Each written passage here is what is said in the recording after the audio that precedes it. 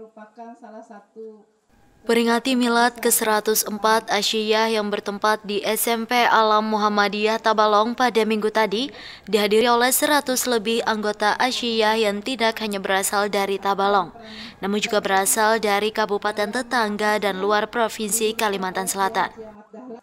Pada acara ini diusung tema Gerakan Ekonomi Perempuan sebagai upaya pelopor perjuangan perempuan di Indonesia. Karena saat ini organisasi Asia lebih ditekankan untuk berpartisipasi membangun ekonomi bangsa, yang mana sebelumnya Asia lebih berfokus pada bidang pendidikan dan dakwah. Ketua Pimpinan Daerah Asyiyah Tabalong Hamdah menuturkan pihaknya saat ini berupaya untuk membangun ekonomi keluarga Asyiyah dengan berbagai cara seperti berkebun, bertani, dan berdagang. Kan karangan artinya supaya satu sisi kita kita yang memiliki tidak membeli, kemudian apabila berkelebihan bisa dijual ke orang banyak hasilnya.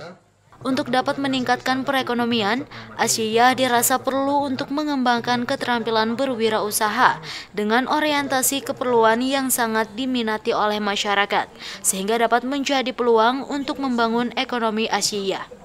Syarif Hidayat TV Tabalong melaporkan.